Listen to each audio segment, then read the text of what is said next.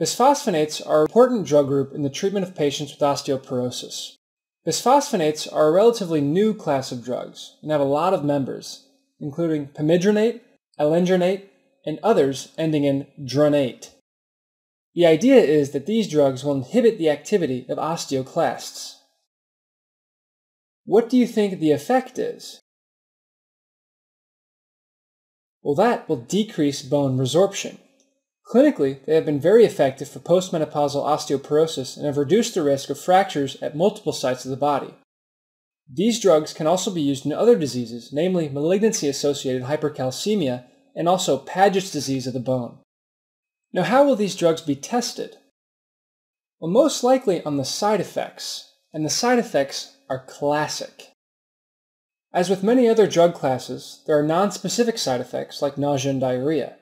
But more importantly, you can see corrosive esophagitis. What should you recommend for these types of patients?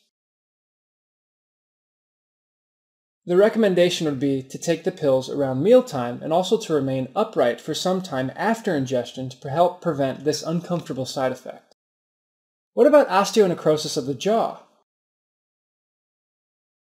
Osteonecrosis of the jaw can be a result of bisphosphonate use as well. This is a pretty classic side effect.